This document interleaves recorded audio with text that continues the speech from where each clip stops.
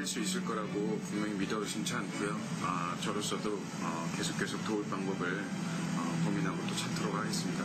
여러분 힘내시고요. 아, 우리 모두가 아, 꾸준히 관심 가져주는 것이 어, 아마 음, 일본에 계신 많은 여러분들이 더 힘을 내고 어, 이겨낼 수 있을 방법이라고 생각합니다.